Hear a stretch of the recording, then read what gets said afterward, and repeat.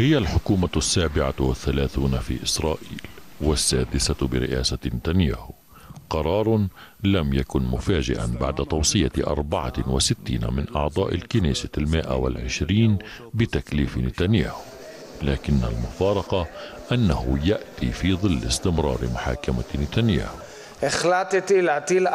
بعد المشاورات التي أجريتها وتأييد 64 عضوا بتكليف نتنياهو وفوز الليكود كأكبر حزب فالنتيجة واضحة.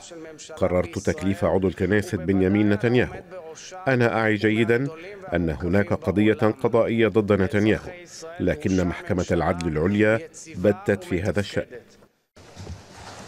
نتنياهو الذي قال إنه يشعر بالإثارة بعد تكليفه كالمرة الأولى قبل 26 عاما عقب على تكليفه ببث رسائل طمأنة موجهة للداخل الإسرائيلي وللمجتمع الدولي المتخوف من حكومته التي قد تكون الأكثر تطرفا في تاريخ إسرائيل העם יכריע בצורה ברורה كثيرون يرحبون بنتائج الانتخابات وهناك أيضا الذين يطلقون النبوءات المتشائمة ويخوفون الشارع من نهاية الديمقراطية أو نهاية الدولة.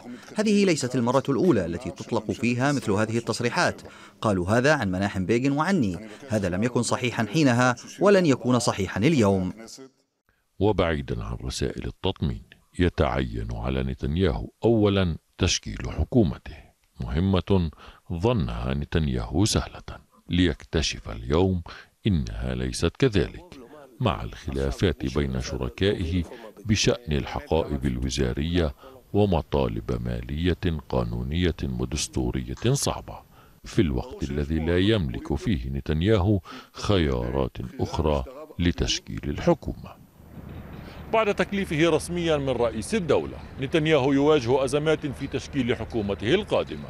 مهمة صعبة لكنها ليست مستحيلة. وإزاء طلبات شركائه يبدو أن على نتنياهو في فترة حكمه القادمة أن يخطو في مسار دقيق يجمع بين إرضاء شركائه في الحكم وتطمين المجتمع الدولي. نضال كناعني سكان نيوز عربية القدس.